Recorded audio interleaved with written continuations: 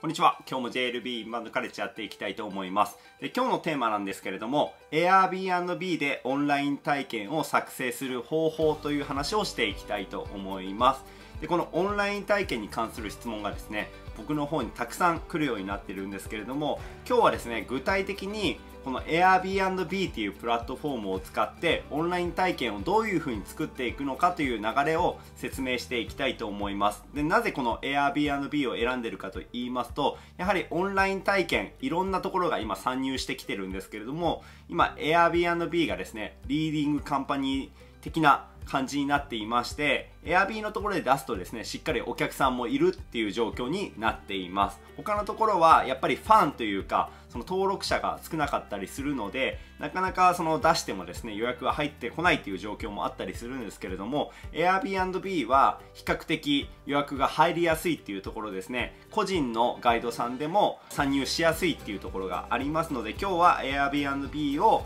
参考にやっていきたいと思います。でまずですねオンライン体験どういう風な流れで作っていくかというとまずは必要に応じてですねいくつかオンライン体験皆さんもぜひ参加してみてください。世界中にいろんなオンライン体験があの Airbnb のオンライン体験ってボタンを押すと出てきますので自分がやりたいようなテーマに近いものにいっぱい参加してみるといいと思います。例えば僕らだったら渋谷のオンラインツアーをやってますので世界中のそういうオンラインツアーですね。街紹介みたいなことをしてるものに参加しています。例えばフランスのパリの体験であったりとかマドリードの体験であったりとかポルトガルのリスボンの体験とかに参加してですねあこういう風にやってるんだっていう風な流れが分かった上でいろいろ自分たちのツアーも作っていったという経緯がありますのでぜひ皆さんもですね自分のやりたいオンライン体験に近いものに参加してみるっていうのがいいと思います。その後ですね実際に自分の体験の企画とか作成をしていくわけなんですけれどもここに関してはもうオフラインの対面型のツアーであったりオンラインであっても、まあ、同じような流れなんですけれどもテーマ決めたらこういういう写真を使おうとかこういう動画を使おうとかいろいろ出てくると思うので写真撮影をしに行ったりとか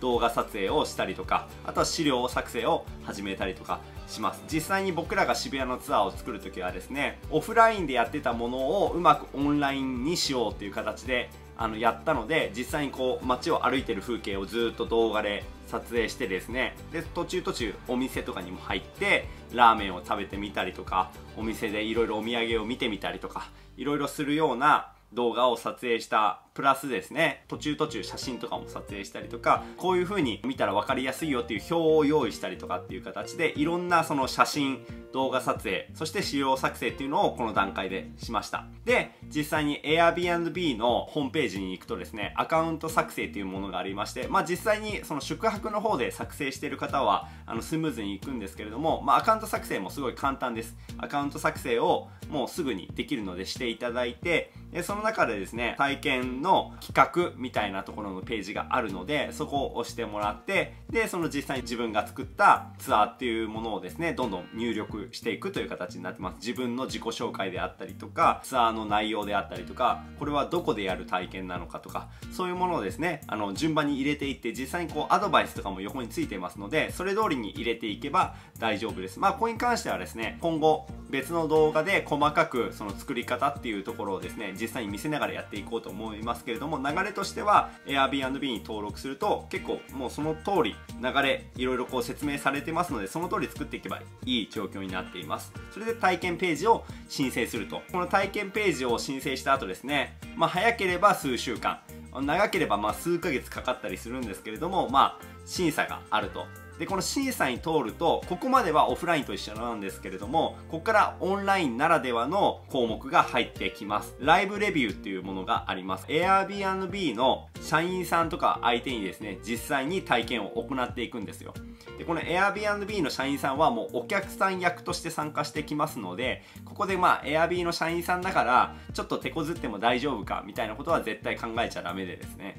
もう本番さながらの状況でやっていかなきゃいけない。ここはだいたい45分とかだったと思います。本当は皆さんは1時間半でやりたい場合も45分とかにこうショートにしてですねそれを実際に見せていくと。でそのライブレビューの審査にまた通ったらですねこのフィードバックっていうのがいろいろ来ます。あのこういうところは直した方がいいですよとかこういうところすごく良かったですよとかいろいろこうフィードバックがもらえるのでそれを活かしてですね改善を進めていってそうするとオンライン体験っていうものが、まあ、公開されて販売が開始されるという流れになっています。まあこの中で難しいのがまず体験ページの申請をしてその審査に通るかっていうところとですね。でその審査に通った後のライブレビューも審査に通るかっていうところが2段階その審査がこのオンライン体験の場合はありますのでそこに関してはもう何度も何度も練習してください。ライブレビューに関してはもう友達とか相手にですね何度もそのオンライン上でしっかりやった方がいいと思います。これ Zoom を使ってやるんですけれども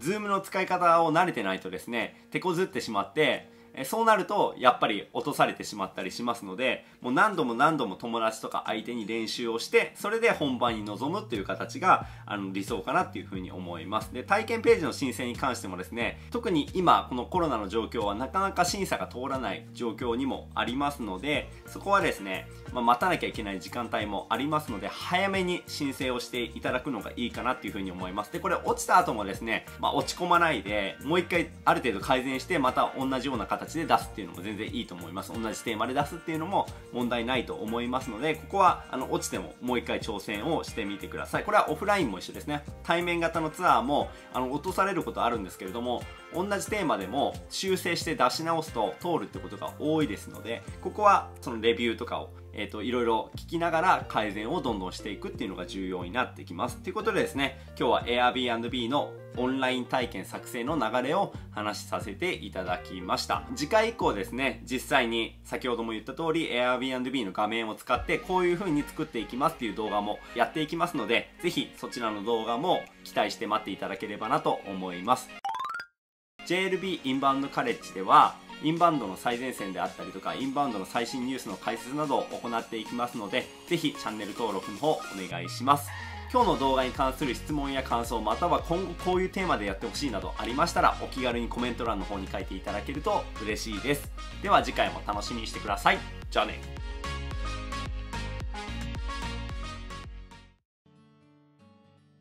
概要欄にあります。大森俊太のインバウンドカレッジの Facebook グループではインバウンドの最前線や一般公開していない情報などを発信しています。無料ですのでぜひご参加ください。